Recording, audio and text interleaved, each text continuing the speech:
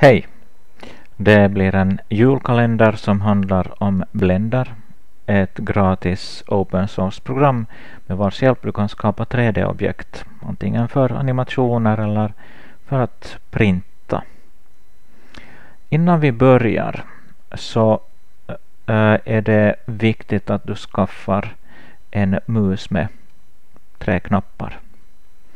Det går att använda Blender utan du kan använda äh, touchpadden men det är nog många saker som är svåra och blir ännu svårare utan en mus med tre knappar.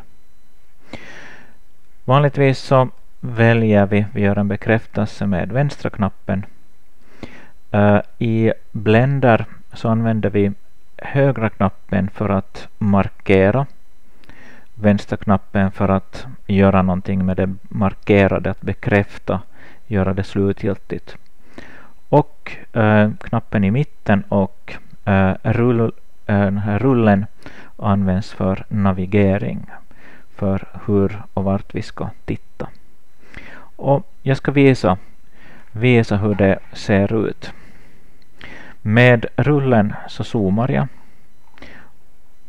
Eh, då jag trycker in så kan jag röra mig runt omkring. Jag styr mig i den här 3D-omgivningen.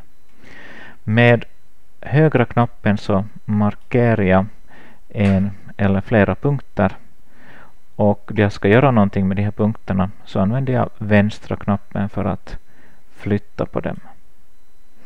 Så det här är det första du behöver skaffa.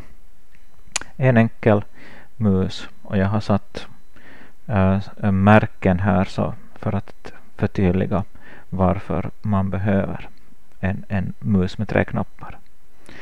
Så om du vill lära dig Blender och vill följa med julkalendern så ladda ner Blender och skaffa en mus och så ses vi i nästa lucka.